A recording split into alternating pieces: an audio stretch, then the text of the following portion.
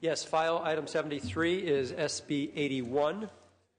Secretary will read. Senate Bill 81 by the Committee on Budget and Fiscal Review and enacting to Education Finance and making an appropriation therefore to take effect immediately. Bill related to the budget.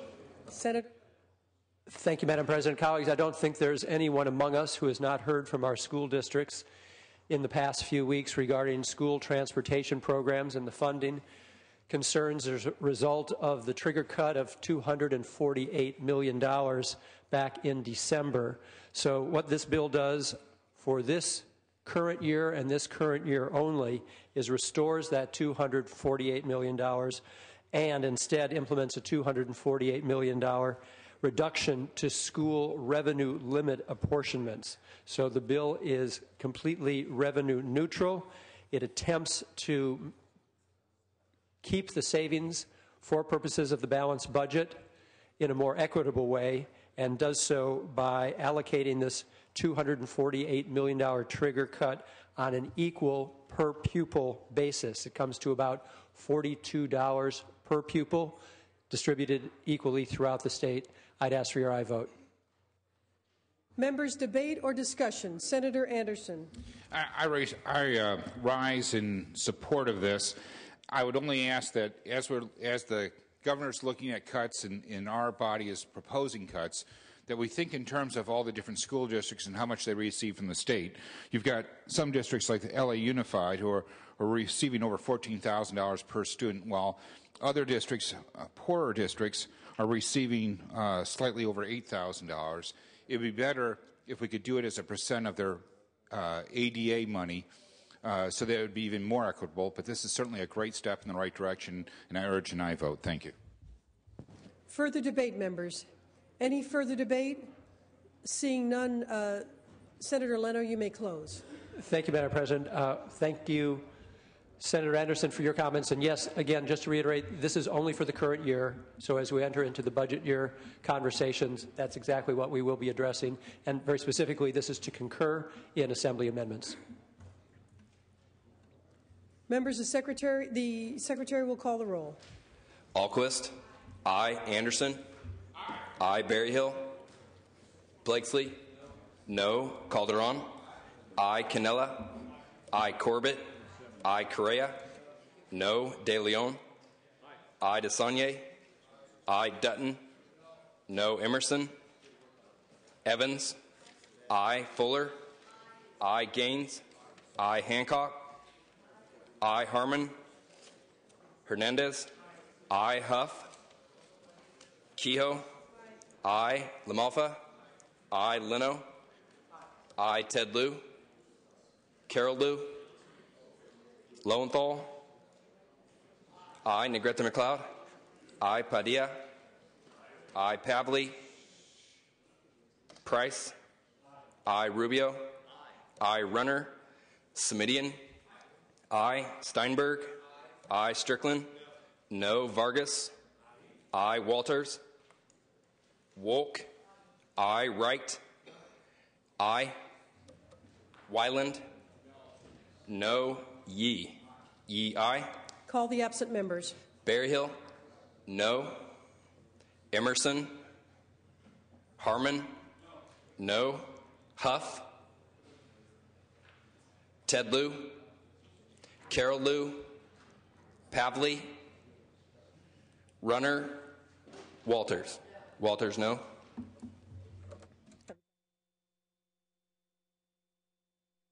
All righty, ayes 26, noes 8. Uh, the bill is concurred.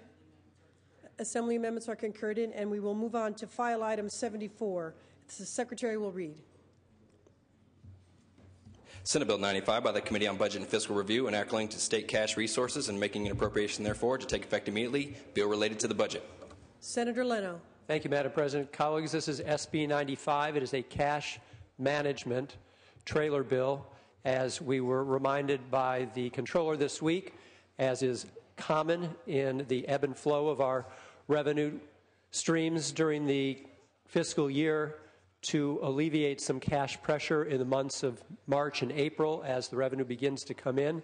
This will authorize general fund cash borrowing, different from budget borrowing, from seven additional special funds, of course, to be paid back with interest. You may remember when the treasurer went to the bond market to sell some revenue anticipation notes back in November. He borrowed only five, he sold only $5.7 billion worth, whereas traditionally since 2006 it had been closer to about $10 billion worth. If he had done the $10 billion, we wouldn't be here discussing this today. He did so to save about $50 million in debt service. We'll be spending less of taxpayers' money on interest payments by managing our cash situation in this way. And keep in mind, rather than paying Wall Street interest, we'll be paying our own special funds interest so that we can further the purpose of those special funds. Again, I would ask your vote to concur in Assembly amendments. Members, debate or discussion? Senator Emmerson. Thank you, Madam President and members. Um, as I stated in Budget Committee, I, I, rise in opposition to this measure. The, the Controller has told us that uh, we're $2.6 billion higher in our spending than we uh, should have been under our recently uh, enacted majority vote budget. And the front page of the Sac Bee just today has an article saying that spending on state employee salaries has increased by a half a billion dollars this year alone. The governor has repeatedly called upon the legislature to take action on his spending cuts, but the majority has refused to do that at this point. They've told him no. The governor has asked us to uh, enact some real uh, pension reforms uh, in conference committee. Uh, that is quickly becoming a, a joke. And uh, nobody believes this legislature will enact uh, responsible pension reforms. I ask for a no vote. Further discussion, members? Senator Huff. Thank you, Madam President. I rise in opposition to this, not on the merit, because I, you know, there's different reasons you can argue uh, why this isn't a good bill, as Senator Emmerson recently did, but I rise on the grounds that this is perverting the process of Prop 25. And in Prop 25, it allowed for majority vote for the budget. This is not a budget implementation bill. We already did that. So, to get around the legal obstacles, this has an appropriation of $1,000 in it that absolutely has nothing related to the policy bill we're doing. And so, um, I think that's a disturbing trend that we see using Prop 25 to get around a two thirds vote. There may very well be easily two thirds support of this, but we won't know because we're going down this path of just we can do this, we believe we can do this, we haven't been challenged on this, therefore we will do this. And that's the wrong reasoning. I urge a no vote. Senator Anderson. I uh, also rise in opposition to this. I, I, have a slightly different take. You know, this is a, a band aid on a much bigger problem. You know, we saw earlier this year that the uh, governor has proposed $6 billion of additional spending, 7% more than what we spent last year in the budget. Uh, we're now going to pay Rob from Peter to pay Paul with additional borrowing. It absolutely makes no sense to me that we can, in, in a budget proposed by the governor, spend more money than what we had last year when we know that we have a cash crisis and we have a revenue problem. So um, uh, to me, this just kicks the can further down the road, and for that reason, I will not be supporting it. Thank you. And Senator Gaines. Yes, I also rise in opposition. Um, this is in clear violation of Prop 22, and I don't know how you could um, proceed forward against the will of the people on this, and I think it would just lead to uh, litigation on this issue. So I don't think, uh, I, I, know the controller's trying to work hard in controlling our cash flow and try to do it at the least, uh, least expense. I understand that. But uh, when you're violating Prop 22, I don't think that's a path we ought to be going down. So I urge a no vote. Thank you. Senator Hancock. I rise in favor of this bill. I would urge people not to use Prop 25 as a reason not to vote for what I believe we all agree is very good practical public policy at this time. I, I would point out that one of the reasons uh, Prop 25 uh, was proposed and was approved by the voters was because of the repeated policy concessions unrelated to the budget that um, were extracted because of two thirds vote requirements. So uh, I, I think that we need to be careful as we move forward, but in this case, this is a practical, good policy solution to a budget dilemma. It will be good for the people of California, and I would urge an aye vote. Anything further, members? Any further discussion or debate? Seeing none, Senator Leno, you may close. Thank you, Madam President. Just to remind everybody, this is sound fiscal policy, which is why it has the support of the controller as well as the administration. The difference, of course, again, between cash flow borrowing and budget borrowing, that budget borrowing involves funds used across fiscal years. This is money that will be paid back with interest, benefiting taxpayers as opposed to borrow, borrowing from the outside. Again, asking for your concurrence in Assembly amendments. Discussion has closed, and the Secretary will call the roll. Alquist. I. Anderson. No. Berryhill. No. Blakeslee. No. Calderon. I. Cannella. No. Corbett. I. Correa. I. De Leon. I. DeSaulnier. I. Dutton. No. Emmerson. No. Evans. I. Fuller. No. Gaines. No. Hancock. I. Harman. No. Hernandez. I. Huff. Kehoe. Aye. I. Lamalfa. No. Leno. I. Ted Lieu. I. Carol Liu. Lowenthal. I. Negrete McLeod. I. Padilla. I. Pavley. I. Price. I. Rubio. I. Runner. Simitian. I. Steinberg. I. Strickland. No. Vargas. I. Walters. No. Wolk. I. Wright. I. Wyland. No. Ye. Yee. I. Call the absent members. Huff. No. Carol Liu. Runner. Ayes 24, noes 14. Assembly amendments are concurred in. We'll move to file item 75. Senator Leno, uh, the Secretary will read, and then uh, you may open. Senate Bill 98 by the Committee on Budget and Fiscal Review, an act linked to healing arts and making an appropriation therefore to take effect immediately. Bill related to the budget.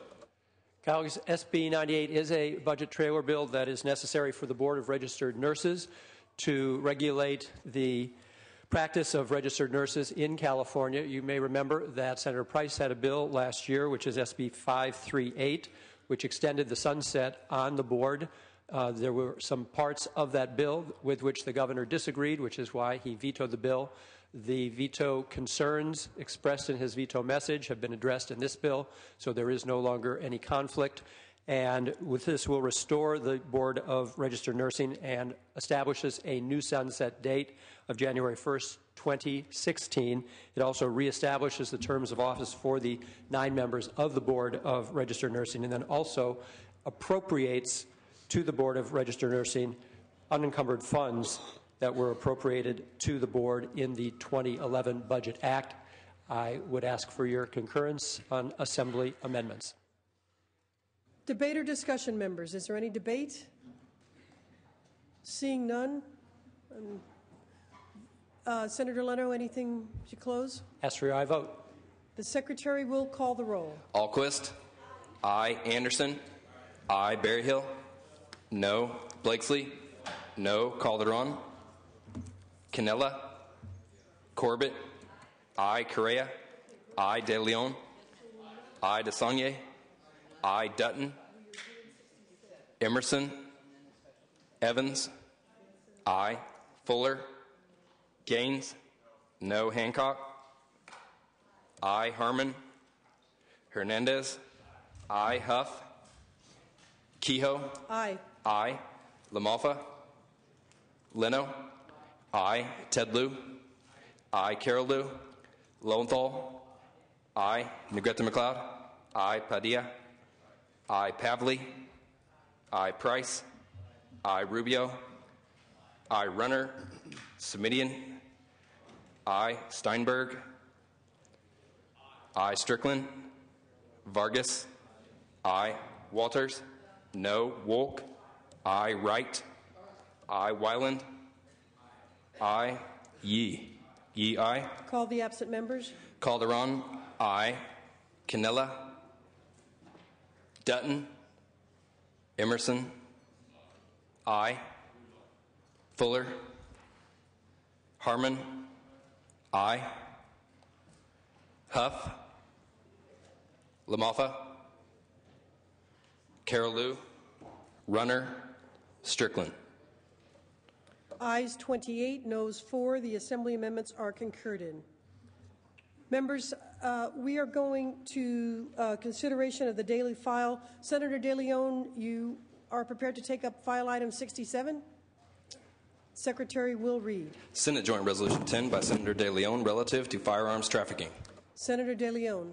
Thank you, uh, Madam President, as well as colleagues. SRJ 10, Senate Joint Resolution Number 10, urges the President and the Congress to pursue a comprehensive approach to address the illegal trafficking of U.S. military assault powered weapons uh, and ammunition to Mexico and other Central American nations such as El Salvador, Guatemala, and Honduras. Although California is not one of the top uh, source, so-called source states of illegal high-powered assault military weapons that are being trafficked uh, due to our very strict and very progressive gun control laws in the state, our freeways and highways are being used to smuggle high-powered assault weapons and ammunition into Mexico, whether it's the 80 coming in from Reno, going down south using the 5 corridor going south, or the 10 west to the 15 south, or the 15 South, as well as the 5 South. Thousands of families on both sides of the border have lost loved ones due to gun violence. And I have heard from many constituents about family members that have been terrorized by heavily armed drug cartels. Uh, last October, the uh, Select Committee on Immigration and the Economy heard extensive testimony on this subject. The consensus among state and local law enforcement officials in California the Department of Justice, as well as the California Highway Patrol, the Sheriff of Los Angeles County, as well as the Sheriff of San Diego County, who were present in their testimony, which was very powerful, as well as the Chief of Police Liaison from Tijuana, Baja California, uh, stated that in addition to the need for more resources, which is quite obvious, uh, to shore up operations and collaboration on the border, on the front lines, stronger federal laws need to be part of the solution. This is uh, because the rise in trafficking that's being facilitated by a very weak patchwork of control laws in other border states across the country, uh, chiefly Arizona, New Mexico, Texas, as well as Nevada. So SRJ 10 simply calls for a comprehensive approach that includes similar laws that we have here in the state of California. I believe that California should advocate for all these reforms at the federal level. Colleagues, I respectfully ask for and I vote. Is there debate or discussion, members? Senator Anderson. This bill may be hard to track because it's coming at us fast and furious. What everybody was concerned about with Fast and Furious, the sting, is now coming to fruition today. We're now proposing bills based on the federal government giving guns to Mexico. This is nonsense. What we really need to be doing is calling on Congress to launch a deeper and further investigation into Eric Holder in what he did and what he knew and when he knew it. This is no solution. What this is, is adding bills to what looks to be, at, at, at first blush, a government cover up. I urge a no vote. Anything further, members? Senator LaMalfa. Thank you, Madam President. Um, if, it, if, it, wasn't fast and furious, it'd almost be funny, but it's not. Senator LaMalfa, I think there's some interference on your microphone. You, uh, Senator Harman's microphone, or Senator, what about Senator Cannella? sorry, Cannella. Cannella. Senator, you, would you please use Senator Cannella's microphone? We're, we're hearing a hiss up here.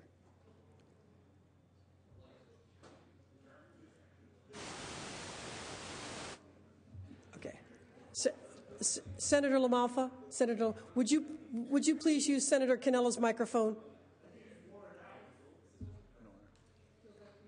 We're still getting a hiss.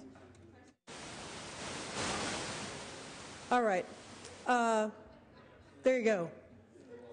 Senator Walters' microphone. Senator Walters, thank you for coming to the rescue. Senator LaMalfa, thank God you have a woman to help you. Go ahead. I'm glad I got my red dress. So, u- usually the hissy to save for outside the committee room, but uh, um, that said, um, 2,000 guns have been uh, lost track of by our federal government going across to the Mexican border under the Fast and Furious. One border control officer was found murdered at the hands of one of those Fast and Furious weapons. So to have this kind of measure coming out of here in light of who's in charge at the federal government and giving them more responsibility on this really is a slap in the face to all lawful gun owners, to the Border Patrol agents, and to any freedom loving American. This is the wrong measure and certainly the wrong people to be in charge of such, uh, such a policy. So I, I have to ask for your no vote on this. Thank you, Senator LaMalfa, and thank you for your patience with the microphone. Senator Gaines. Yes, I rise in opposition. I'm concerned again on the limitation of gun rights in the state of California, our Second Amendment rights. Um, we're experiencing an increase in crime throughout the state of California. We've had 60 break ins in the city of Rocklin over the course of the last two months. Uh, we've had break ins in Granite Bay. We've had break ins up in Redding, where a 66 year old woman had a guy breaking into her house, told him to exit the house. He would not exit, and shot him dead. And he had been arrested the day before at the county jail. When we take a look at what's happening with realignment, we've got real issues at hand in terms of increasing crime rate. Right now, we're talking about a resolution that I think ultimately is going to limit your gun rights there in the state of California. So I urge a no vote. Members, any further discussion? Any further discussion? Uh, seeing none, S- S- Senator uh, De Leon, you may close. Thank you, Madam President. Um, let me make a, a, few clarifications and a quick statement so I can close. Uh, one, with regards to Senate Joint Resolution, it's unfortunate the uptick of, of crime that's currently taking place uh, somewhat up north from here in Granite Bay and, and elsewhere in Rocklin. Um, this has, is not germane specifically to anything in, in the state of California. Uh, with regards to high power military assault weapons, we have that ban that already currently exists. What this does is it sends a symbolic message to the White House, to the Vice President, as well as to the leaders of both house, houses of the Congress uh, with regards to the illegal high powered assault weapons uh, trafficking that's currently taking place uh, from the United States into Mexico. Uh, it's a double edged sword given the fact that the vast majority of the consumers of illicit drugs uh, are in the United States, and that, that is the fuel that feeds the violence currently taking place uh, in, the, in Mexico as well as other Central American nations, Honduras, El Salvador, uh, as well as uh, Guatemala. specifically with regards to Fast and Furious, um, I, I, I do believe I think uh, the senator from San Diego County made reference that there is a hearing as we speak right now by Congressman uh, Darrell Issa on the House with regards to an investigation of the Fast and Furious program. Uh, I'm not here to defend or criticize uh, the ATF, uh, but to put that in context, uh, what's in question right now with regards to Fast and Furious is roughly about 1,000 high-powered assault weapons that were utilized and were not traced into Mexico to put that in context, what we're talking about, we're talking about an average of 80,000 80,000 high-powered assault weapons that are trafficking, being trafficked into Mexico, and they're tracing them back into the United States. The number of high-powered assault weapons in the Fast and Furious program, when you do the calculation, I'm glad that the senator brought it up, is 1.67 percent. 1.67 percent. So I don't want to use Fast and Furious to sort of be utilized a, as a smokescreen to sort of deviate from the larger problem that currently exists or to sort of obfuscate the larger problem at hand. This has nothing to do with the Second Amendment of the Constitution of the United States. This has to deal with working in a co- uh, collaborative and cooperative uh, manner with Mexico as well as other nations so we can stem the illegal flow of these high powered assault weapons into the Republic of Mexico. So, with regards to Fast and Furious, again, I don't want to use that to sort of obfuscate and use that as a smokescreen because this has nothing to do with Fast and Furious. Finally, I would say, just uh, Madam President, as well as colleagues, just uh, close this as uh, John Lindsay Poland said of the friendship, uh, the Fellowship of uh, Reconciliation. Uh, there's quite plenty of blame to go around for the tragedy of the deaths of more than 50,000 uh, Mexicans, mostly killed by U.S. purchased weapons since 2006. You can blame the triggermen who respond badly to poverty. You can blame drug traffickers who are running their organizations. You can blame the drug users whose money fund the guns. You can blame the drug prohibition because there's simply no peacefully way to sort of redress the disagreements in an illegal industry.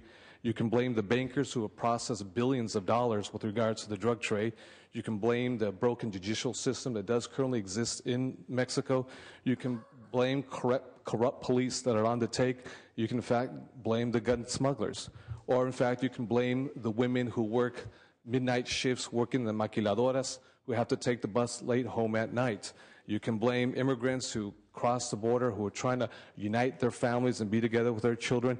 And you can blame the activists who are standing up to try to take over the brutal takeovers of their communities. And you can blame the cops who don't bow down to organized crimes or blame the teenagers. The teenagers at a party where gunmen raided and began shooting and killing everybody that were present at that party. And this way we can blame anyone and everyone but not take responsibility ourselves as policymakers, regardless of our political party. That's why I want to move forward SJR 10. I think it's a very respectful, comprehensive manner, being respectful to the Second Amendment of the Constitution, just dealing with the illegal trafficking of high-powered assault military weapons that are going south uh, into Mexico. Uh, with that, Madam President, as well as colleagues, I respectfully ask for an aye vote. Thank you, Senator De Leon. And the discussion is closed. The Secretary will call the roll. Alquist. I. Anderson. Berryhill. An- Anderson, no. Berryhill, no. Blakeslee? no. Calderon, I. Cannella, no. Corbett, I. Correa, no. De Leon, I. DeSaulnier, I. Dutton, Emerson, no. Evans, I. Fuller, no. Gaines, no. Hancock, I. Harman? No. Hernandez? I. Huff? No. Kehoe? I. Lamalfa? No. Leno? I. Ted Lieu? I. Carol Liu? Lowenthal? I. Negrete McLeod? I. Padilla? I. Pavley? I. Price? I. Rubio? Runner? Simitian? I. Steinberg? I. Strickland? No Vargas. I Walters. No Wolk. I Wright. Wyland. No Yee. Yee I. Dutton no. Call the absent members. Carol Liu. Rubio. Runner. Wright. Ayes 21, noes 15. The uh, resolution is passed. Members, uh, we're going to move on to the special consent calendar. We're at the special consent calendar, members. The Secretary will read. Senate Concurrent Resolution 60 by Senator DeSaulnier relative to California Teen Safe Driving Week.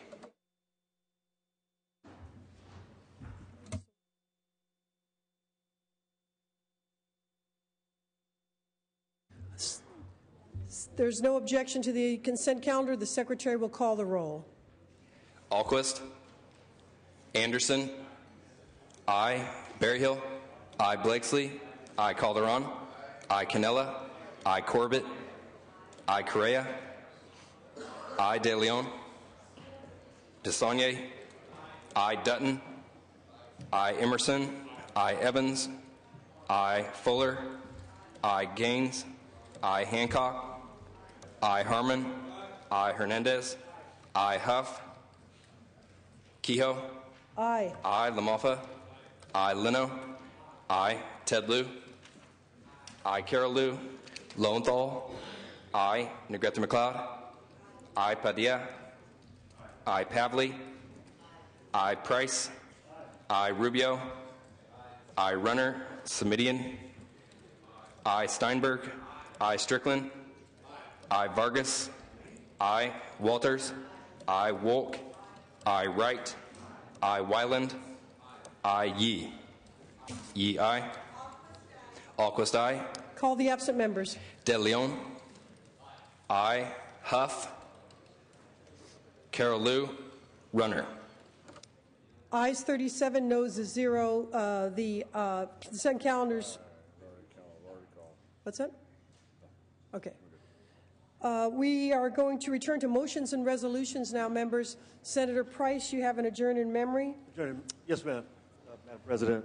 Uh, Madam President, members, I rise today to adjourn in memory of television pioneer Don Cornelius. Many of you remember him as the host of the popular television show Soul Train. Before BET, before MTV, and before HBO, there was Soul Train, a Saturday morning favorite. Soul Train first appeared on American Airways in 1971 and ran continuously for, 50, for 35 years. Senator McLeod's, I think, doing her own tribute. Uh, a record that will not be surpassed until 2016 when the Entertainment Tonight show completes its 35th season. As the host of Soul Train, Don Cornelius brought rhythm and blues music to the forefront, showcasing the Jacksons, Earth, Wind, and Fire, Stevie Wonder, Elton John, and others. And at the end of every show, he encouraged us all to have peace, love, and soul. And so please join me in remembering Don Cornelius. Senator Price, thank you for uh, adjourning in memory of Don Cornelius. We, we appreciate uh, his co- contributions to American culture and music and um, delighted uh, to see Senator Gloria Negrete McLeod join in the tribute. Uh, members, uh, we'll go to Senator Calderon. Is, and for what purpose, Senator Calderon? Uh, adjourn in memory. Uh, please go right ahead.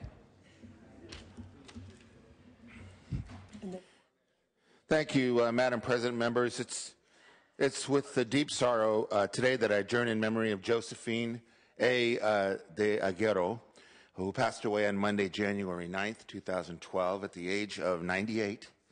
Her services were held at the uh, Del Angel Mortuary in Montebello, and she was buried at uh, Rose Hills Memorial Park. Uh, Ms. Uh, de um, the mother of a very dear friend of mine, uh, Walt Diagero, uh, and he's a very dear friend of the family.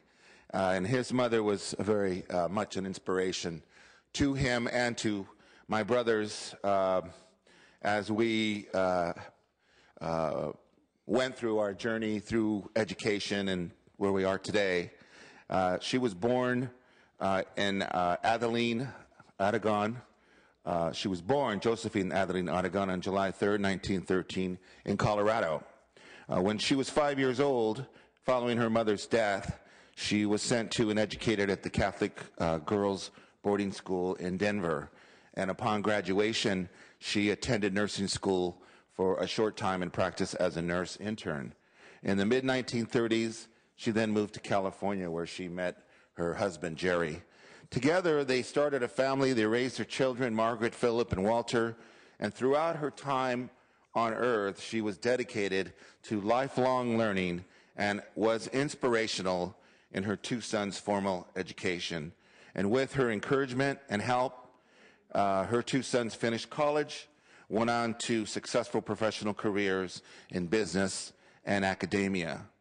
Josephine was brave, courageous, and throughout her life, uh, as well as in death. And she endured her mother's death at a very young age, carried on with little emotional support during her school years, and moved ahead in spite of the economic upheaval, upheaval of the 1930s. The events of her life provided strength and resolve to overcome diversity, adversity, and misfortune, and she installed, instilled this determination in her children. She is survived by her two sons, five grandchildren, and seven great grandchildren. She'll be very much missed as we endure in her memory today. Thank you. Thank you, Senator Calderon, and we offer our condolences to uh, your family and hers. And uh, does the desk have the name? All right. Thank you. We have the name. Uh, I think, uh, Senator Leno, you have an adjourned memory also, and then we'll go to Senator Evans for an announcement, unless there's another adjourned memory. Senator Leno. Thank you, Madam President. Colleagues, I ask you to join me in adjourning in the memory of Larry Goldberg, who was a constituent of mine, also a very good friend, and a nationally recognized leader in the Jewish community, also a partner in one of the most remarkable bipartisan marriages I've ever known, his wife being a good friend of many in this room named Nancy Goldberg. Uh, Larry was really driven by his lifelong passion of being a committed Zionist and also, as he saw it, the great need for both major parties of this country to address and to court the Jewish vote. He was uh, someone who had served on the national staff of three Republican presidential campaigns and was executive director of the effort to secure voting support from the Jewish community, and also served in the Nixon White House as liaison to the Jewish community. Uh, at the same time, he was national co chair of Republicans for Clinton Gore in 1992 because of his dissatisfaction with the policy toward Israel of President George H.W. Bush and Secretary of State James Baker. But he was also a professor at the University of San Francisco at the Fromm Institute as an authority of the political process. He also held national leadership positions with the American Jewish Committee, the American Israel Public Affairs Committee, and also the Anti Defamation League. The list is very long, but I think he will be remembered mostly for his strength of character and for the quality of his character, also as an adored husband, father, and grandfather, also for his honesty, his trustworthiness, and his concern for others. In short, he was a true mensch. And I know that his wife and family, who were by his side at his home in Tiburon when he died at the age of 80 last week, uh, would be pleased to know that we are joining her and them in remembering Larry Goldberg as we adjourn today. Thank you. Thank you, Senator Leno. And Senator Pavley on uh, Mr. Goldberg's passing. Senator Pavley. Let me also uh, add my condolences and thank Senator Leno for bringing that up. Senator Simitian and I, um, as well as Senator Lieu, who's not here today, had the absolute honor and privilege of going to Israel with the Goldbergs, um, with the Jewish Federation, and their passion and love for Israel was contagious, and it was a life changing trip for, for many of us. Most gracious couple um, but with Larry, he loved to debate politics, and I remember that about him. And when he was here last um, summer with Jewish Family Services on one of their lobby days up here, he knew his health was failing him, but he still loved that good argument of uh, talking about the issues of the day. And so uh, I also rise in uh, memory of Larry Goldberg, a fine American. Thank you, Senator Pavley, and to both of you. Uh, we join you in offering our condolences to the Goldberg family for his service to our state. Uh, yes, Senator Evans for an announcement, and then Senator Wright. Thank you, Madam President. I rise to announce that today is Go Red for Women Day at the Capitol. Members and staff are wearing red, or you're wearing these nice little red buttons uh, to support heart disease and stroke awareness for American Heart Month, which occurs in February every year, because heart disease is a serious health, health condition and the number one killer of women. The Women's Caucus and the American Heart Association today sponsored health screenings, heart disease and stroke education, and CPR training in the Capitol to help everyone know their risk of heart disease and the warning signs of stroke. Thank you. Thank you, Senator Evans. And uh, for more information, uh, folks can contact your office for the various screenings and things like that. So thank you for making that announcement. Senator Wright, for what you know, purpose? Uh, Madam President, members, on a, a much more somber note, I hope, I'd like to remind people that February is Black History Month, and this Monday, uh, on this floor, we're going to honor Quincy Jones, the music producer, uh, movie scorer, uh, magazine publisher, uh, raconteur, um, sad as we mentioned the, the passing of Don Cornelius. They were very good friends. Um, so, on an upside, before we recognize him and an adjourn in memory, hopefully we'll have a live Quincy Jones here Monday to celebrate his accomplishments of some 60 years in the music business. Thank you, Senator Wright. We'll look forward to that. Uh, members, any other announcements or adjourned memories? Uh, seeing none, uh, Senator Steinberg, there, the desk is clear. Thank you very much, Madam President. Members, thank you for your uh, budget uh, actions today. Session will resume at 2 o'clock on Monday. Thank you. Have a good weekend, everyone. Thank you. Senate will recess until 3:30, at which time a motion to adjourn will be made.